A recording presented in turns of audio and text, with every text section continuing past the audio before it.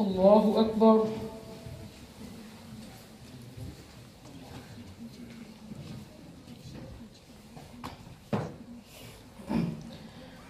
الحمد لله رب العالمين. الرحمن الرحيم. مالك يوم الدين. إياك نعبد وإياك نستعين. اهدنا الصراط المستقيم. صراط الذين أنعمت عليهم غير المغضوب عليهم ولا الضالين.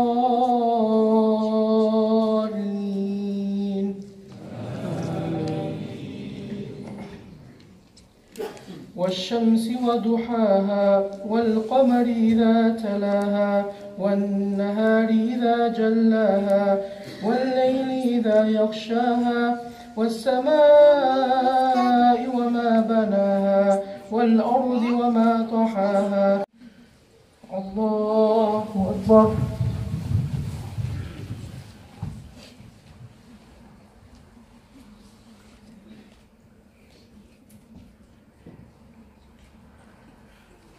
الله أكبر.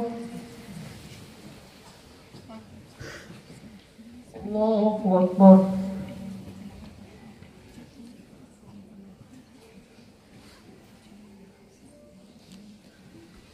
الله أكبر. أعمالنا من يهده الله فلا مضل له ومن يضلل فلا هادي له وأشهد أن لا إله إلا الله وحده لا شريك له وأشهد أن محمدا عبده ورسوله. Ayub, as he tried to give the introduction, he said, I'm going to be talking about uh, parenting and raising kids in uh, the 21st century, but that's not what you're going to hear today. Um, because I'm someone who's definitely not qualified to be talking about that. We have, mashallah, you know, some of my teachers here, uh, the elders in the community, they have a lot more experience. Um, I'm a young father myself, and I'm struggling like I'm sure most other parents are struggling. So, if I was to sit here and give you advice and tell you do this, do that, I'm, I would be, feel, I feel like a hypocrite because it's not working for me. I have very stressful days at home, as I'm sure you all can relate to. Um, and I also considered or was asked to talk about maybe being obedient uh, to the parents, how to show respect uh, to the parents. But again, I was uh, quite a naughty child, so uh, I don't I don't feel like me talking about that. Again, it's you know it's sort of hypocritical.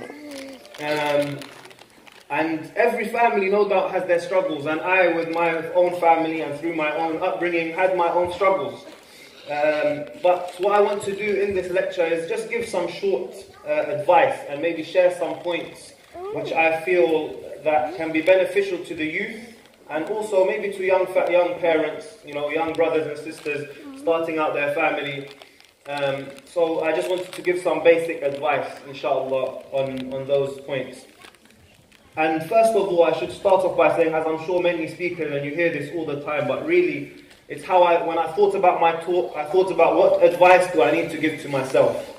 What advice do I need? And then I set about looking at these points and, you know, created this sort of lecture this uh, advice, as I call it. So first of all, it's applicable to me before it's applicable to you. Uh, I'm saying it only to myself and then inshallah that my brothers and sisters can benefit. And the first point that came to mind and the first thing I thought about is we should all look, and the first thing we should all look at is our relationship with Allah subhanahu wa ta'ala. And are we actually a role model within our own family? Allah subhanahu wa ta'ala he says in the Quran, يا أيها الذين آمنوا قوا أنفسكم وأهليكم نارا O you who have believed, addressing us, addressing the Ummah of Muhammad sallallahu alayhi wa sallam. قوا أنفسكم وأهليكم نارا Save, Allah starts with yourself. Save yourself and then Allah says, and your families from the fire, the fire of which whose fuel is men and stones. So the first thing that we should start off with, and anfusakum, ourselves. And then our family. This should be the focus of every believer. This should be the focus of every parent. To first save yourself. and then to save your family. We should be that first role model. We should be that first starting point. We start with ourselves, and inshallah, things will follow from there. There's no point telling our kids to pray, and we don't even wake up for Fajr ourselves.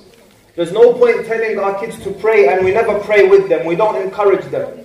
We haven't even thought about how we're going to be enjoyable to them. But we always tell them, pray, pray, pray, pray. And it's something that's nagging to them. They don't like We haven't thought about how can we make the prayer enjoyable. How can we set ourselves be a role model? Are we waking up for Fajr? Are we keeping the prayers on time? But yet we want our children to pray and pray. Again, the Quran. A lot of us, we send our kids to madrasa.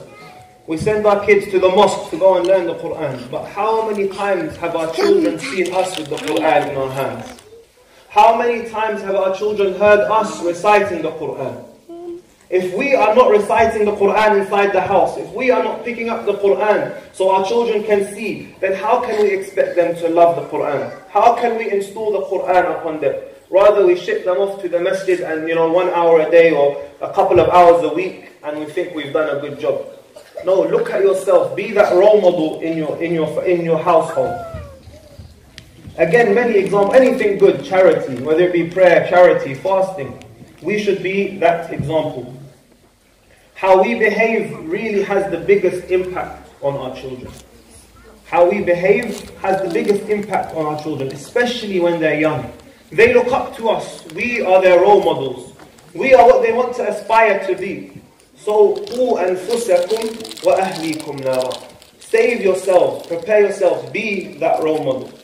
And we see this in the Quran where Allah subhanahu wa ta'ala he mentions the story of two orphan children in Surah Kahf when Musa alayhi salam and Khidr alayhi salam Abdul Qarnayn al-Khidr alayhi salam they go to this distant town in the middle of nowhere and they find within this town a wall which is about to collapse. This random wall which is about to collapse and he, he restores this wall and he repairs this wall and then they go on about their journey. And when Musa alayhi was informed about why did he do this, Musa said, why did, he, why did you do this? We went into this town, we asked these people to give us food. They didn't give us any food, they rejected us. But yet you came into this town and you fixed this wall. And Khidr alayhi he told him why he did this. And he said, he said that he did one of the, the main reason he did this, Allah says in the Quran, وَكَانَ أَبُوهُمَا صَالِحًا So to give a background on the story, under this wall was what? What was under this wall? Who can tell me? A treasure. Naam, a treasure. And under this treasure, this treasure belonged to two young orphan boys. And imagine they were growing up in this town where no one wanted to even care for the guests. So it was an evil town. But Allah sent Musa and Khidr to go and to go and repair this wall and keep it firm to protect this treasure for these two, two young orphans. And why does Allah subhanahu wa ta'ala say that He done this? وَكَانَ أَبُوهُمَا صَالِحًا And their father was someone who was righteous. Their father was righteous. Imagine Allah is mentioning this story in the Quran. And Allah sent the two best people on the, on, on the face of the earth at that time, Musa and Khidr, to go to some random town just to fix this wall to protect these two young orphans' treasures. Subhanallah, look at how they traveled and Allah sent these two people. Why? Just because their father was righteous.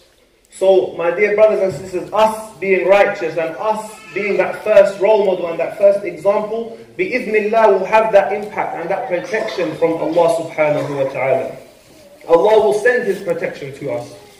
And Abdullah ibn Mas'ud, he says, I used to pray nawafil at night when I would see my small children. It is said when he would see his small children, he would be praying tahajjud at night. And then he would say, وَكَانَ أَبُوهُمَا صَالِحًا He would recite this verse and he would cry. He would cry and he was saying, I am doing this for my children. I am doing this for you. Crying at night, praying tahajjud, being righteous, so his children can be protected by Allah.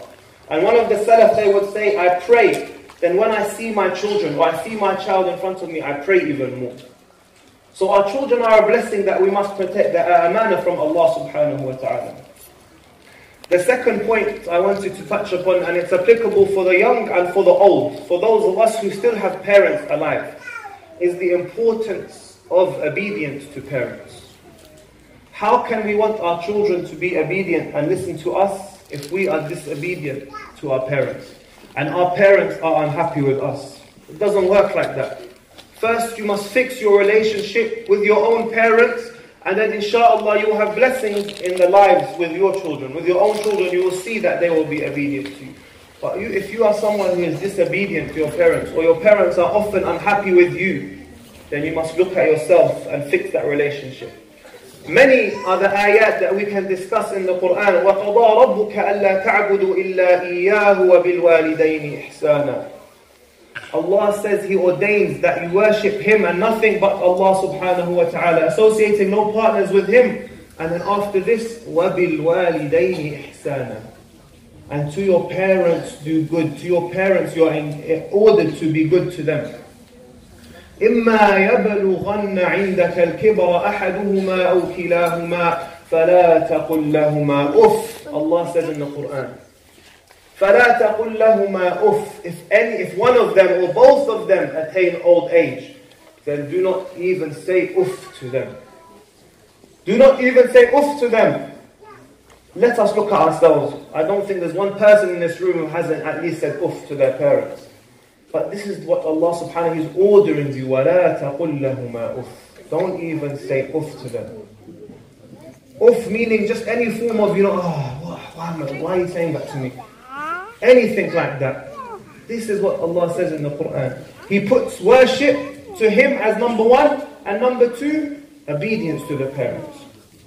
وَوَصَّيْنَا الْإِنسَانَ بِوَالِدَيْهِ إِحْسَانًا حملته أمه. Allah subhanahu wa ta'ala says in the Quran, we have, in, we have enjoined and we have commanded that ihsan. Ihsan is the utmost respect, the utmost good that you can do. This is what you should be doing to your parents.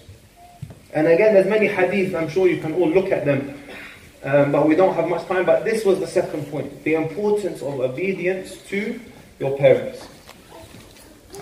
The third thing is we have to understand that this world, my dear brothers and sisters, is a very short and temporary enjoyment. Very short and temporary. And that we will all one day return to Allah subhanahu wa ta'ala. And primarily, our life, our deeds, our aims in life should be to please Allah and should be to attain Jannah. كل نفس ذائقة الموت Allah says, every soul shall taste death. There's not one of us here that will live forever. وَإِنَّمَا تُوَفَّوْنَ أُجُورَكُمْ يَوْمَ الْقِيَامَةِ That indeed you will be, you will receive your rewards on the day of judgment.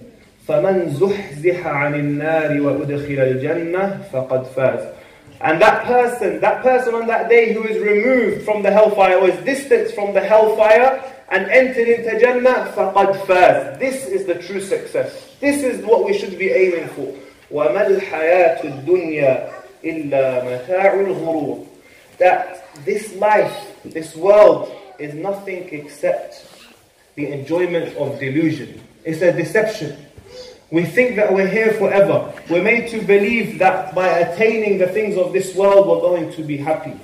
And I'm not trying to say, my dear brothers and sisters, don't go after the dunya. I'm not trying to say, you know, live a poor life or have a, have a, have a miserable life. Don't worry about having a good car, having beautiful clothes, a nice house. No problem. No problem to aspire to all these things. But when these things are taking priority in our lives, when we find ourselves chasing the dunya and forgetting about Allah, when we find ourselves missing our prayers, and instead focusing on trying to attain the things of this world, then we need to stop. We need to think, what are we doing? Really, what are we doing? When we're not going to be here forever. كُلُّ نَفْسٍ ذَائِقَةُ الْمَوْتِ Every one of us will taste death. And let us not think that because we are young, for those of you who are still young, that death is something which is far away. Who told you that you're going to live until you're 60, 70, 80? Did anyone give you that guarantee? It's a trick from the shaitan to think that we are here and we, you know, when we get older, inshallah, I'm going to be more righteous. I'm going to pray, pray more. I'm going to fast. I'm going to give charity when I'm older. But now, you know, I'm young. I want to focus on obtaining as much wealth as I can or being as famous as I can, or you know, raising my status amongst my social circle. I don't want to focus on Islam. No, no one gave you that guarantee. So when we find ourselves doing this, we need to stop and we need to look at ourselves and we need to turn. ألم يأن للذين آمنوا أن تخشع قلوبهم لذكر الله وما نزل من الحق Has the time not come? Allah is asking for those who have believed to turn to Allah. ألم يأن للذين آمنوا أن تخشع قلوبهم that their hearts surrender to Allah وما نزل من الحق and that which we have revealed of the truth. Has the time not come? So when that time comes, my dear brothers and sisters, when we decide we need to change and we turn to Allah subhanahu wa ta'ala, my fourth, my fourth point is we need to look at our friendship, our social circle, those who we call our friends. The Prophet Muhammad sallallahu alayhi wasallam, he said, الرجل على دين خليله فلينظر أحدكم من يخالف that the man is upon the way of his friends. He is upon the path of his friends, so look carefully to whom you befriend. Look carefully to whom you call your friends. Look at your social circle very carefully, because this will give you an indication of where you are heading and what path you are upon.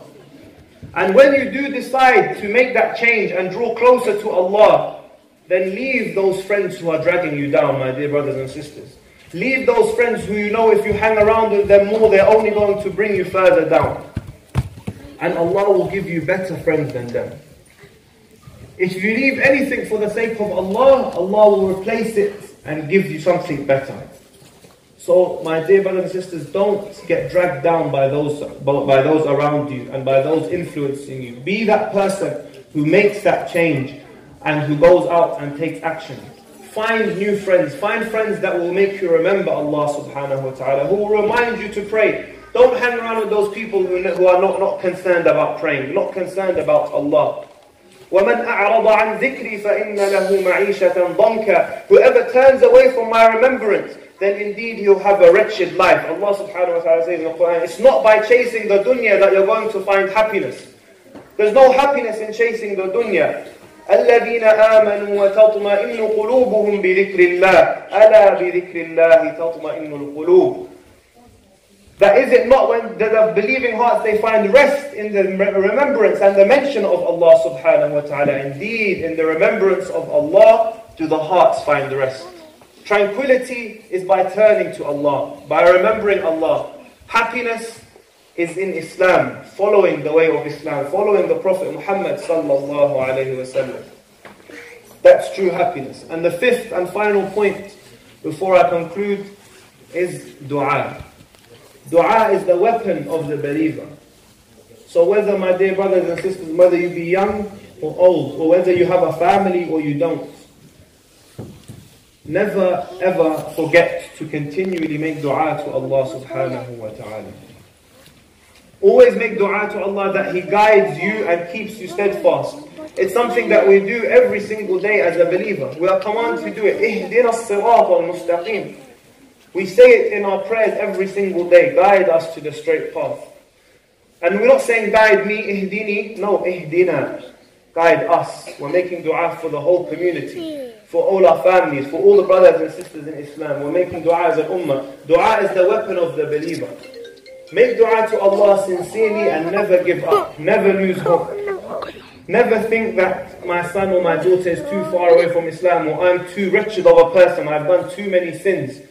No, always make dua and turn to Allah subhanahu wa ta'ala. Allah is always wanting to hear, wanting to forgive. And with this, I will end my talk. أقول قولي هذا وأستغفر الله لي ولكم. Anything good I have said is from the mercy of Allah, and anything bad I have said is from me or from the shaitan. I ask Allah subhanahu wa ta'ala to make this blessing, to make this uh, gathering a blessed one, and to unite us um, with him and with the Prophet Muhammad sallallahu alayhi wasallam in the highest levels of Jannah for those. Online course that I developed about willpower. but can anyone tell me what willpower is? Because why on earth would, might, why would this be a useful talk to have? Why would it be beneficial for us to talk about willpower. So, does anyone know or have an idea what they think willpower is? What is willpower? Anyone know? Is it what, strength of what? Your ability to what? Lift a heavy object? Is that willpower? Okay, so you're throwing some things at me. Determination. Yeah? So we're getting there. Strength, determination. Is it is it a outward physical thing or is it a psychological, mental thing? Yeah, it's psychological. So willpower is to do with the power of your mind. Yeah? But now a lot of people really don't know what willpower is. And that's the first problem. Right? Maybe they think that willpower is some sort of Jedi ability to focus on an object and then levitate it. This thing to actually move, right? I can sort of will something to happen just by the sheer force of my will. So a lot of people imagine willpower is some sort of mystical energy source that they can tap into. And that's not what, that's just mythology, right? That's just movies, right? So, from the point of view of psychology, the, the science of how our, how our mind works, willpower is de- defined as your ability to resist, or it's defined as your ability to delay gratification. Yeah? No, I thought that might. Okay, so let me explain it simply, right? It is your ability to resist temptation. That's it. That's what real willpower is. So, as a human being, we have something we know from Islamic terminology. It's our nafs, right? Our desires, our passions, our impulses. And how important do you think it is for a Muslim to be able to resist their passions and their desires and their impulses? Like a little bit important or very, very important? Like, I mean, think about it. Let's think about it this way. Let, us think about it this way. What is it that Allah is going to weigh up for us on the day of judgment? What is it that Allah is going to weigh up for us on the day of judgment? What are going to be weighed? What's going to be weighed for us on the day of judgment? What? Our, yeah, our what deeds? Our good deeds and our bad deeds, right? Yeah? Okay, so doing good deeds is pretty important. And resisting the temptation and the urge to do bad deeds is also pretty important. Let me remind you of when, uh, when you're in your grave, remember the description of the barzakh, when a man will appear at the foot of the wicked, evil soul, and this man, the person in the grave, will say, Oh, who are you? Because you look like you abode an evil end. It's like you, you the way you look looks like something bad is going to happen. And this man will say, I am your evil deeds. I am your evil deeds. And I only found you very quick to disobey Allah and very, very slow to obey Allah. She said I can give it to you. Whereas for the believer, the good person, he will say, Oh, who are you? You abode a good end. It's like you, you know, like something good's going to happen. He said, I'm your good deeds. I never found you except that you were very slow to obey, uh, very slow to disobey Allah and very quick to obey Allah. Right? So what is going on in this world? What are we faced with in this dunya? The Prophet ﷺ said when he when Allah subhanahu wa ta'ala he created Jannah and Jahannam, he said to Jibreel, Ya Jibreel, go, look at my paradise and tell me what you think. So Jibreel came back. He said, oh Allah, anybody who hears about it, they will enter it. Then Allah surrounded it with hardships and trials and tests and difficulties. Don't do that. Then he said, Now go and look at my paradise and tell me what you think. And Jibril came back, he said, I'm afraid that nobody will enter it. And the same, he said, Jibril, when he created hellfire, he said, Jibril, look at my hellfire, tell me what you think. Jibril came back, he said, Allah, anyone who hears about it, they will never go there. Then Allah surrounded it with temptations and ease and luxury. Yeah, he surrounded the hellfire with temptations and ease and luxury.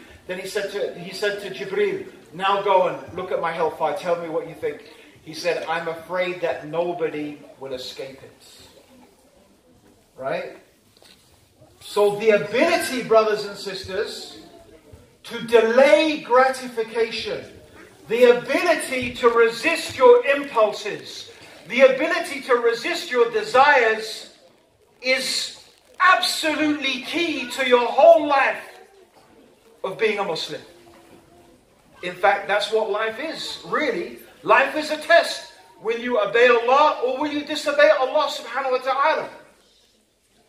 So this subject is hugely important.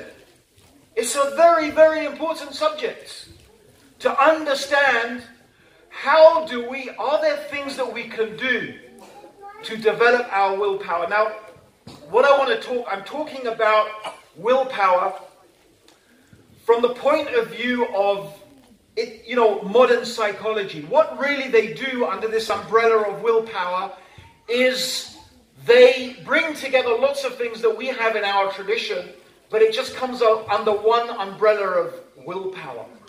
So I think it's very, very useful when you study this.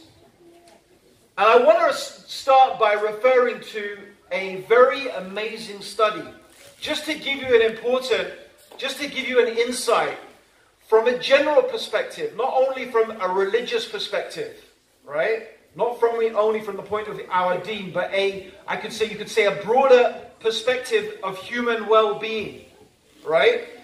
That how important this is, how important it is in terms of human success development. So there was a experiment, a famous experiment called the marshmallow experiment. You've probably seen YouTube clips of it, right? Right? Is they put these kids in a room and they put a table in front of the kids and they had a marshmallow on the table. And they said to the kids, you, if you can have one marshmallow now, right? But if you wait, okay, whatever amount of time they said, I can't remember, five minutes or whatever amount of time it was, you can have two. Interestingly enough, the experiment was not supposed to be about willpower. That wasn't the original purpose of the experiment. They were testing something else. I think they were testing about kids' honesty or, you know, the tactics they would use or whatever, right? So anyway, you can guess some kids waited. In other words, they delayed gratification. They waited, they delayed, right? They said, okay, I can wait. I won't eat that one marshmallow right now. I'm going to wait a few minutes and I'll get two. Right? And some kids, they couldn't wait. Oh no. They couldn't wait even a few minutes. They, you know, they, the door was closed, they were left in the room, and a few seconds later, they took that marshmallow and they ate it. Right? So, that was the experiment. And they, you know what they were trying to do is study the techniques that kids would use to see how they could avoid temptation. You know, so some would pick it up and look at it and smell it, and you know, like some would not look at it. You know, they, they would turn away and not look at the marshmallow, right? Which is really interesting because that some of these are, are exactly the same techniques that you use in order to resist temptation generally, right? But here's the interesting thing, right? The professor who did this experiment, his daughter was at the same school, or his, he had two daughters. These two daughters were at the same school as the kids who had participated in the experiment. And his daughters would come back from school and say, Oh, Tommy did this. and Sarah did that, and Jane did this. And then he started noticing something really interesting that there was a correlation or a connection between the kids who are getting into trouble. Right? He noticed that the kids that were constantly getting into trouble were the same kids who had been unable to resist temptation. The same kids who had given in and eaten the marshmallow straight away were the same kids who ended up and, and here's the thing they followed these kids through school, into college, through their adulthood, because anyway, most of them didn't even end up going to college. In fact, most of these kids who couldn't resist temptation, not only did they not go to college, they ended up being more likely to be drug addicts, alcoholics, have low income jobs, or be totally unemployed, to go to prison. Like everything you could think about, the bad things in society, these same kids who had failed the test of being able to resist temptation were the same ones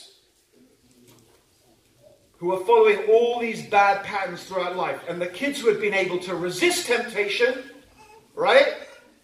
They were the ones, right, who had, you know, better jobs, stable marriages, happy homes, like whatever, you know, all the benchmark of what you could call success balanced life. And here's the crazy thing. Like, contrary to what you might imagine, there is almost nothing that statistically happens in a kid's life that actually goes on to indicate how. The, so, like, there are things that happen in kids' lives, right? Maybe it might be divorce, right? It may be some traumatic experience, it may be sexual abuse, it may be a whole range of things, right? But what is interesting is the outcome of kids who suffer from these things, there's not any necessary correlation. They don't find, it's very few things they find that if a kid goes through this, they turn out like that as an adult. Do you understand? Right? You may think that if a kid is sexually abused, they're going to be like such and such, but actually, there's nothing statistically very significant, contrary to what we might think. It doesn't excuse it. I'm just saying the range of outcomes are so wide, you can't really predict how a kid's going to be from the way they behave when they're young. Except this one thing their ability to resist temptation, their ability to delay gratification. Now, the thing is that this is something you can train. This is something you can develop. You can develop it within yourself and you can develop it within the character and the personality of your kids.